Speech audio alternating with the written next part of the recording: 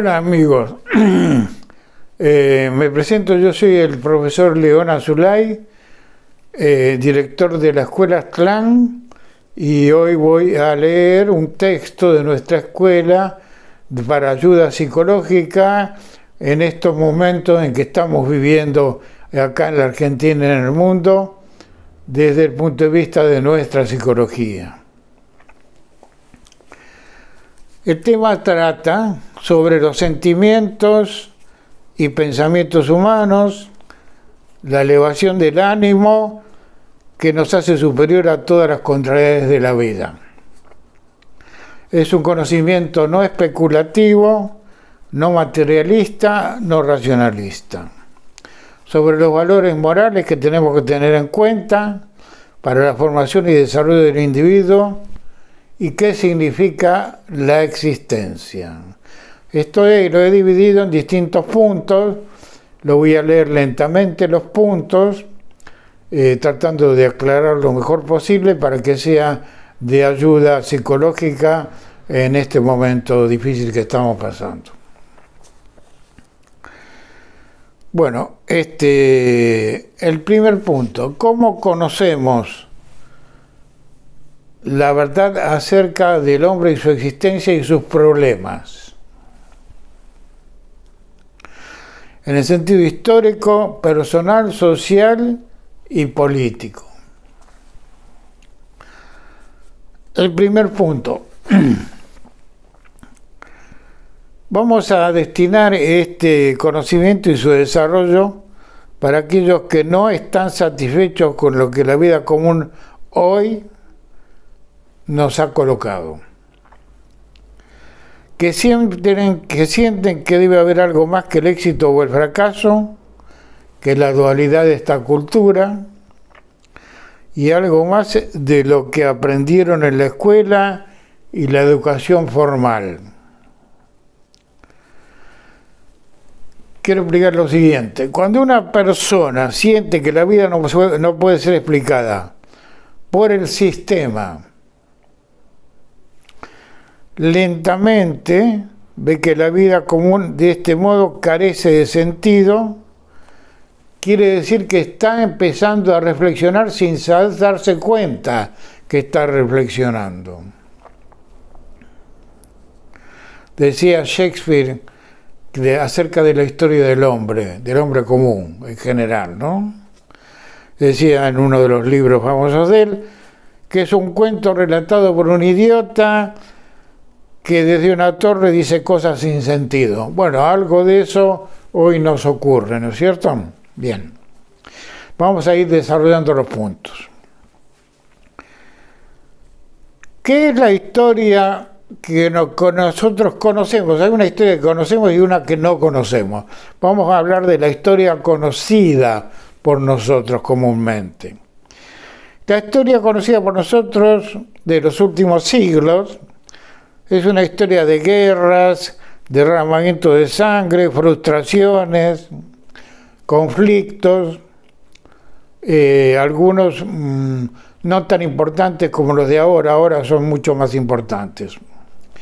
Entonces, cuando este tipo de persona comienza a darse cuenta de que la existencia del progreso de hoy técnicamente hablando, es muy dudosa y de que todo empieza y termina casi antes de haber empezado, ¿qué significa esto? Significa que estamos en posición, situación y capacidad de buscar un verdadero significado práctico al significado de nuestra existencia con un verdadero conocimiento. Sería ese el primer punto. Y el siguiente es el, siguiente.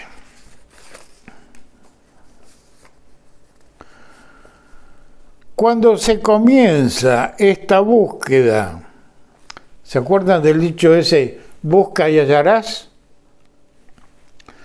Se refiere a una búsqueda espiritual, ¿no es cierto? No a una cosa común y corriente. Cuando se comienza esta búsqueda, busca y hallarás con espíritu sincero, con verdadera profundidad, de sentimientos. Se tiene la certeza de que existe un gran número de testimonios en la historia, en nuestra historia, muy trascendentes. Testimonios muy trascendentes eh, que no es la especulación de los medios que apuntan hoy con otra clase de finalidades. Tercer punto.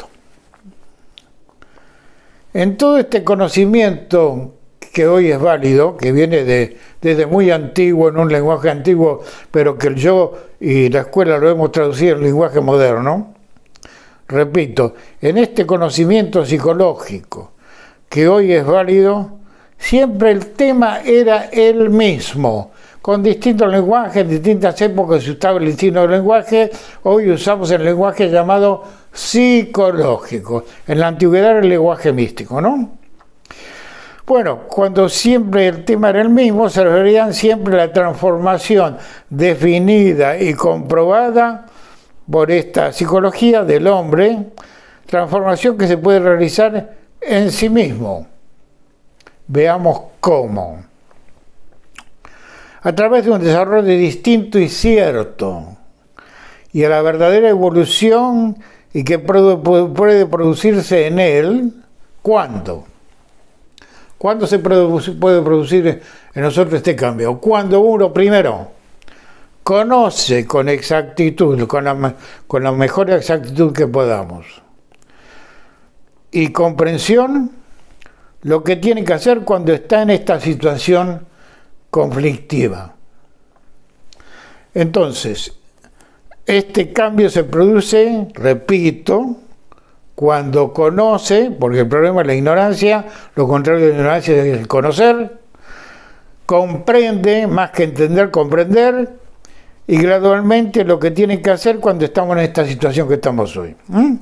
Siguiente punto. Entonces decimos que estamos en esta historia, estamos en la historia actual, en una parte importante del cambio, porque esta crisis es un gran cambio, vamos a ver qué significa este cambio.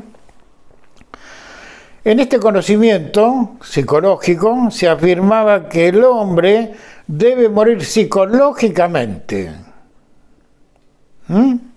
Entendamos bien el cambio psicológico es dejar el conocimiento falso, que es una, gran, una buena parte de lo, que de lo que sabemos, de una forma definida y específica para sí mismo, para ciertos aspectos negativos de la vida. Sobre todo este, en las emociones. Por ejemplo, el hombre eh, totalmente consciente para distinguirlo del hombre ignorante. ¿Cuál es el problema nuestro? El problema nuestro es la ignorancia acerca de todo lo que sucede en la vida, personal y social.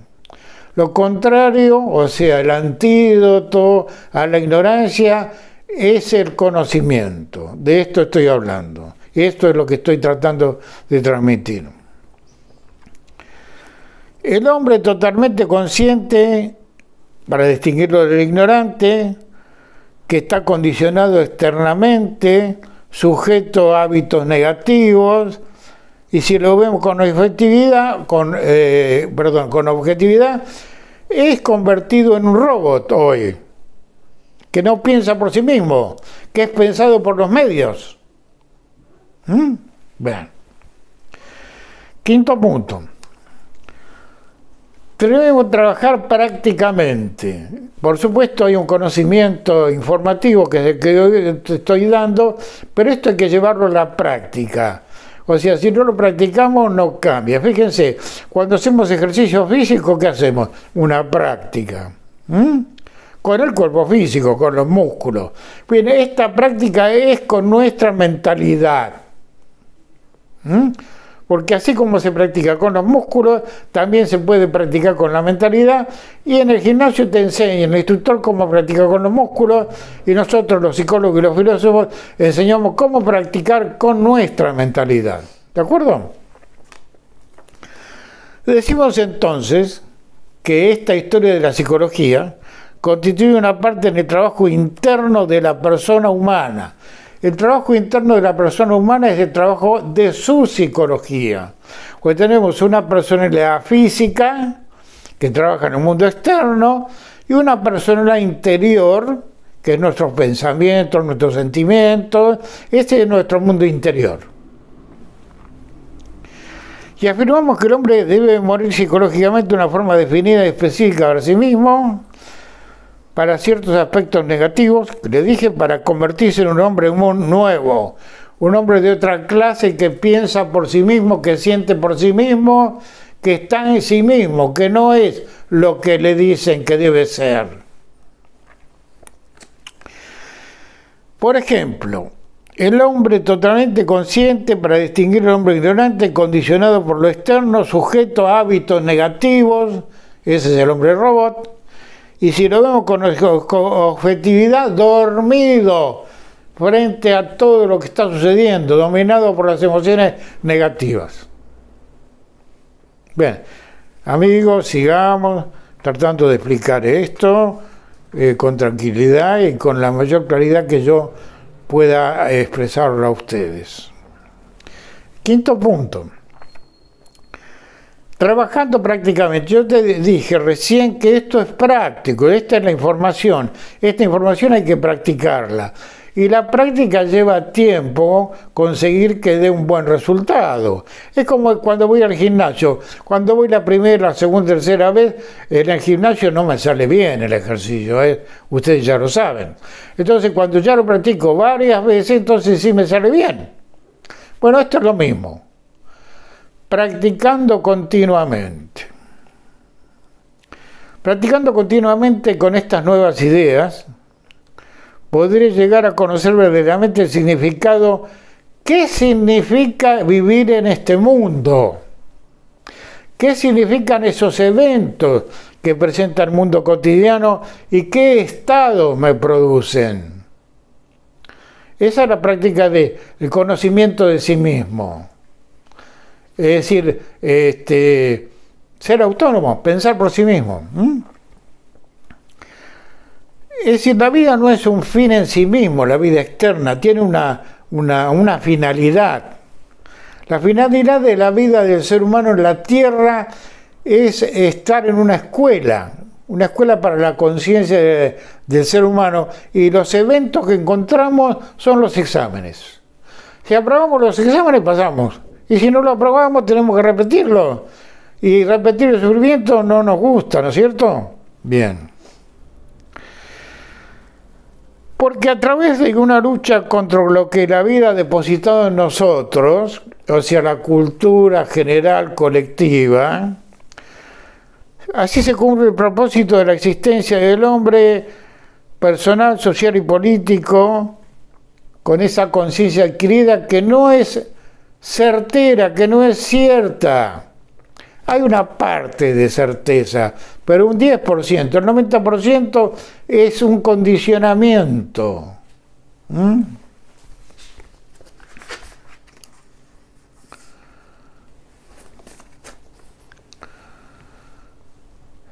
Esto no es tan fácil, es decir, eh, fácil es ir al gimnasio y practicar, ¿no? Porque el cuerpo, siendo joven, uno practica y fácil. En la práctica psicológica es difícil, ya lo sabemos, ¿no?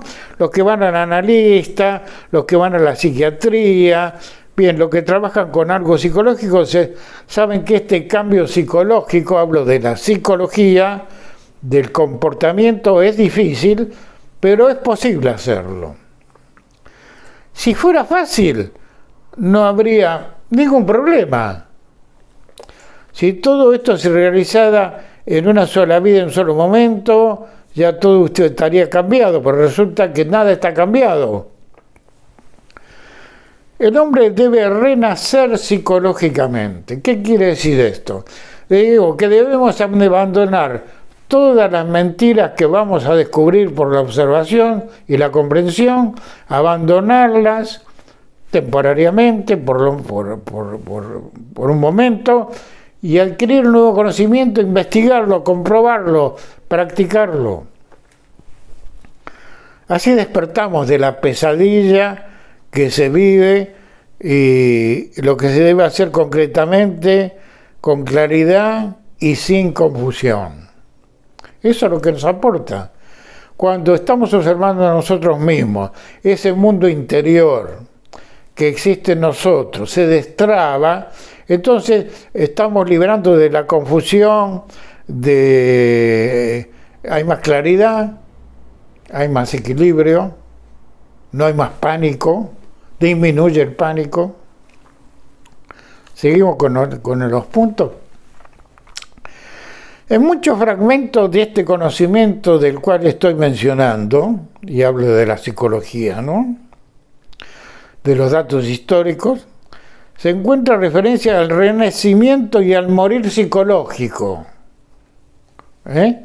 Renacimiento y morir psicológico. Quiero decir con esto que debemos dejar de lado temporariamente todo lo que nos han enseñado, todo lo que nos han informado, e investigar por nuestra cuenta para renacer y adquirir nuevos conocimientos y esa comprobación la vamos a conseguir desde el mundo interno de lo que hoy se, se llama meditación, reflexión. Por ejemplo, los evangelios, y no hablo de la Iglesia Católica, hablo de las escuelas antiguas antes de la Iglesia Católica, ¿eh?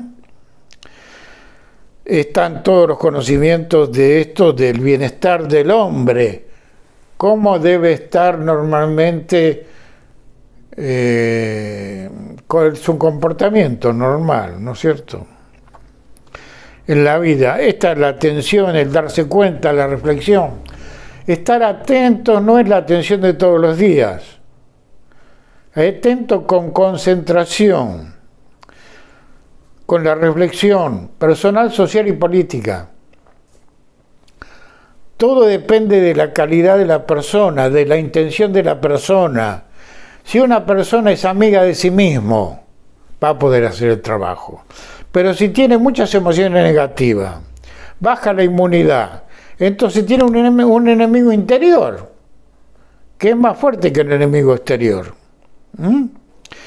Nada que sea falso tiene utilidad en este camino, en este cambio. Es preciso enseñar eh, cómo destrabarse uno mismo. Para ello es necesario un conocimiento y su práctica para lograr los resultados, que es de lo cual estoy informando. Esta enseñanza no debe ser arbitraria, no es especulativa, no es fantasiosa, es bien práctica y es este, comprobada por nosotros cuando la practicamos debe provenir de ese saber, sabiduría interna que tenemos todos nosotros, que hoy está trabado. Es la sensatez, las instrucciones sensatas que nuestro mundo interior nos da. Eh, porque si no estamos prisioneros de esta pesadilla que vivimos en el mundo moderno, del materialismo, el ateísmo. Para los que desean liberarse y despertarse, traten de comprender lo que estoy diciendo. Y el que no lo puede hacer, bueno, que no me escuche. Que reflexione bien sobre lo que estoy diciendo, si es válido, si lo puede practicar. Eh, vamos a hacer varios videos explicando muchísimas de estas cosas. Sigamos con el punto siguiente, noveno. Por lo tanto, hay una enseñanza que viene del antiguo, eh, ¿qué es el silencio interior? ¿Qué significa el silencio interior? El silencio interior es parar, parar, la charla mecánica de esta información que nos machaca continuamente miedo y pánico. Parar un momentito y decir, bueno, ¿cómo es la cuestión? Hay un montón de elementos hoy para investigar la verdad hay videos, hay bibliografía, hay enseñanza. Lo único que tiene que poner una voluntad y esfuerzo para hacerlo. ¿eh? Esta es una sabiduría muy antigua.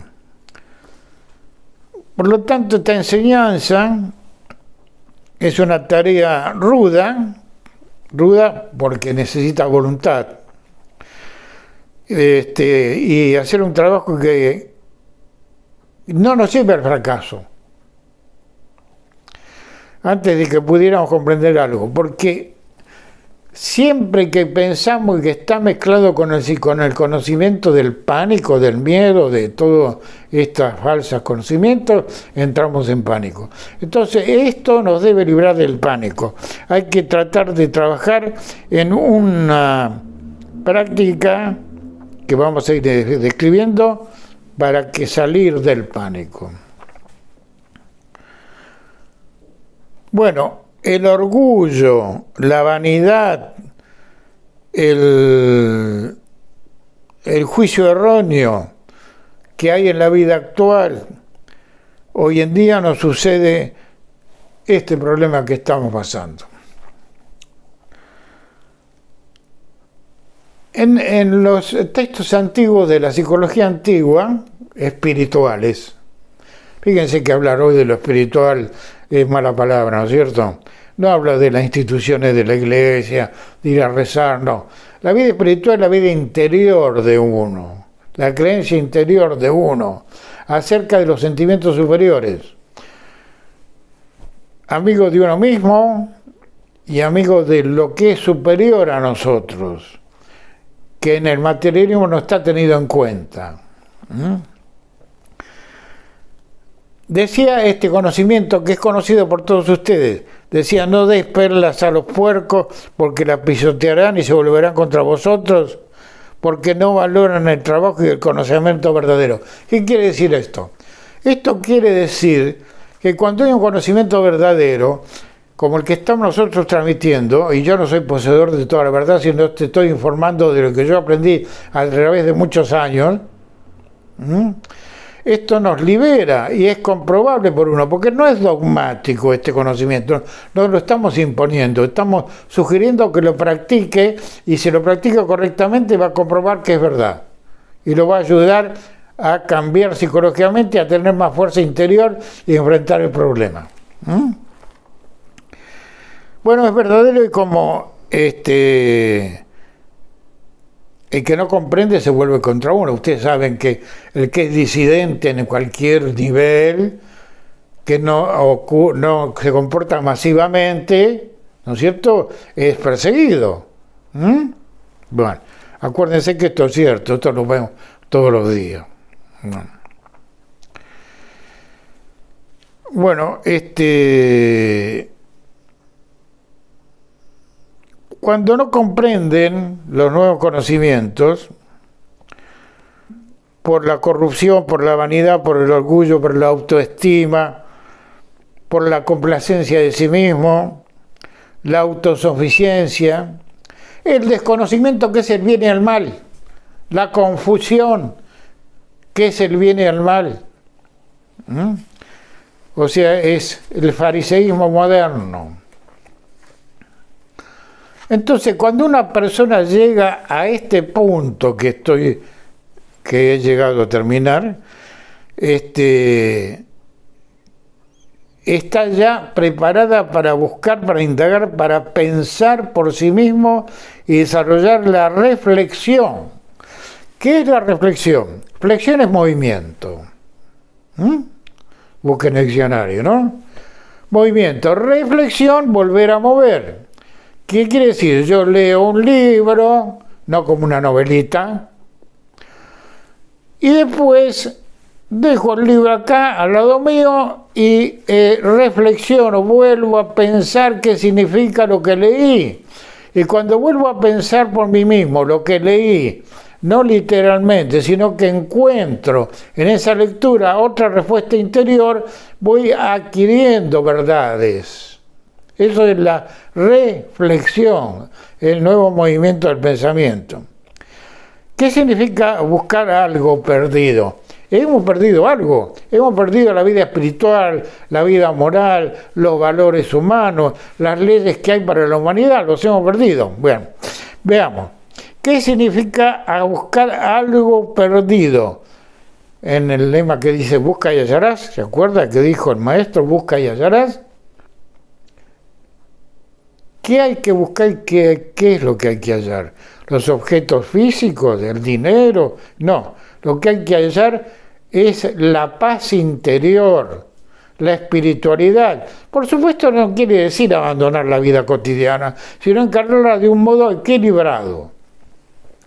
El significado es que al menos que uno mismo busque, al menos que uno busque prácticamente, no encontrará nada. ¿Mm? Bien. Siguiente punto. Quizá uno nunca ha pensado en el significado de su existencia esto es parte de la idea del materialismo. ¿Qué significa vivir? La vida social, política, laboral, económica, ¿qué significa? En esencia, no la, situación este, establecida, sino la causa primera. ¿Qué significa todo eso? Cuando encontramos la, causa primera, el significado, vamos a comprender qué, significa el proceso. Esto debe ser muy serio el pensar. O tal vez haya, tal vez haya uno tratado de indagar un poco y que todo ha sido demasiado desconcertante porque no tenemos mucho conocimiento y que encontraba temor en realizar todo este trabajo y no fue capaz de distinguir. Fíjense, esta es una palabra importante distinguir entre el bien y el mal, lo bueno y lo malo, la verdad y la mentira, con precisión. La diferencia entre la verdad y la mentira. Entonces, estamos preparados para este trabajo. Puede significar varias cosas. Quizá perdimos mucho tiempo en encontrar una verdadera ayuda en el mundo en que vivimos y los pensamientos han pasado por varias etapas con varios peligros, depresiones, dudas, antes de haber podido encontrar el conocimiento verdadero, la ayuda verdadera. Nos ha pasado a todos. A mí también cuando era joven me ha pasado problemas. Era otra época, menos conflictiva que esta hoy, pero también estaba en la búsqueda de un destino verdadero. Cada uno de nosotros tiene un destino verdadero, ¿eh? que no es el masificado. Bueno, reflexionemos. Ya dije qué, es la reflexión, ¿no? Sobre este tema de busca y hallarás. Primero es preciso perder algo, porque no es, no es posible buscar algo si no se ha perdido antes algo, ¿no es cierto? Entonces hemos perdido los valores morales, hemos perdido conocimiento verdadero, hemos perdido la espiritualidad, este, hemos eh, caído en el hedonismo, en el materialismo, en el egoísmo, en el individualismo y todo lo demás que es contrario a todo esto lo hemos perdido. ¿Mm? Entonces hay que volver a buscarlo.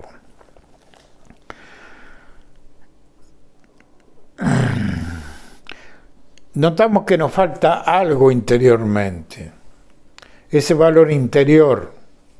El valor interior es la conciencia moral. Mm, debería buscarse de nuevo. El movimiento del pensamiento debe dirigirse al mundo interior, que es la psicología, la psique. Y luego de lograr el esclarecimiento, entonces se volcará cuando ya está en claro, encarar el mundo exterior de otra manera, en una manera equilibrada. Eh, de otro modo que en la forma anterior, que era vulgar e, e, e ignorante. Siguiente punto. Todas las personas tienen dos lados. Un lado eh, interno que es la personalidad psíquica y el lado externo la personalidad física. O sea, estamos actuando todos los días con nuestro cuerpo físico en el mundo físico, esa es la, psicología física, y después está la personalidad, la personalidad puramente psicológica, la cual hoy no, está, no la tenemos en cuenta. Pero el lado más interno, por lo general, está gobernado por el condicionamiento externo El lado externo es adquirido por la acción de la cultura actual, la personalidad, el personaje que nos impuesto, que nos ha impuesto que hagamos. El desarrollo, en este desarrollo debe crecer el ser interior y disminuir esa falsa personalidad para que esta práctica dé resultado. El personaje es activo y el ser se halla en situación pasiva, es decir, que la personalidad común de todos los días, el estado del ego, ¿eh? que es una pequeña parte de la psique, es el que domina nuestra conducta y está compuesta de un montón de fantasías que nos lleva a tener mucho temor, mucho pánico. Y el resto de la psique, que es lo que llama en el inconsciente colectivo, hay un conocimiento verdadero. Hay que trabajar sobre ello y entonces vamos a conseguir una seguridad interior. El hombre ha de tener que realizar una inversión de este proceso. ¿eh? estar, eh, buscar el equilibrio en el mundo interior para encarar luego la vida externa con tranquilidad. Sin embargo, es un proceso que tiene lugar prácticamente. Durante este tiempo la persona llega a conocerse a sí misma, entonces se dará cuenta de que es por entero diferente a lo que creía ser, lo que le habían hecho creer que era. Este, el movimiento de la reflexión sigue un movimiento interior por medio de la psicología de la atención, otro tipo de atención, no la atención dispersa que tenemos todos los días, sino concentración y atención, sobre la cual tenemos tantas ilusiones, creemos que nuestro ego es el verdadero y que no hay nada más que eso. Entonces necesitamos una forma de verdad en relación con la cual podamos hacer este trabajo, algo que debe lograrse y puede perderse fácilmente si el condicionamiento todavía perdura en nosotros. Si nunca se lo ha buscado verdaderamente. No hay razón para decir que no se lo ha perdido, porque si aquel que siente que un vacío interior que tiene lugar en sí mismo, que no está que su comportamiento no es genuino y real, que está suplantado por este condicionamiento, le falta todo esto que estoy relatando. Entonces, ¿qué domina nuestra conducta? La fantasía y la mentira. Este conocimiento debe realizarse en nosotros en un estado emocional positivo. Debe crearse, va a crearse en estado, con esta práctica, un conocimiento, un sentimiento, una emoción positiva. Entonces, eh, vamos a empezar a experimentar nuevas influencias psicológicas. Pero para conservar este estado emocional es preciso que siga y conserve esta verdad, que no pierda, que mantenga este conocimiento adquirido, que no se, no se lo olvide.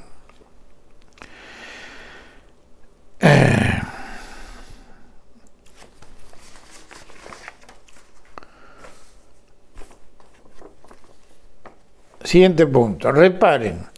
En qué estado de desorden se deja la propia casa que somos nosotros mismos y en qué facilidad perdemos toda la vida, oportunidades, amigos, sentimientos, positivo, educación, trabajo. En los libros religiosos antiguos se describe una parábola de la verdad para terminar esta primera parte, que es la siguiente.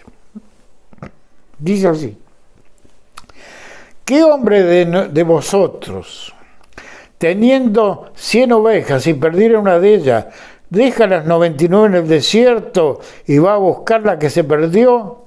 Y cuando la halló, la pone en sus hombros, gozoso y viniendo a casa junto a sus amigos, diciéndoles, dadme un bien, porque he hallado la verdad que había perdido. Bueno, hasta acá esta primera enseñanza como colaboración psicológica a los problemas que estamos pasando de nuestra escuela. En el siguiente video vamos a seguir enseñando otras cosas. Gracias.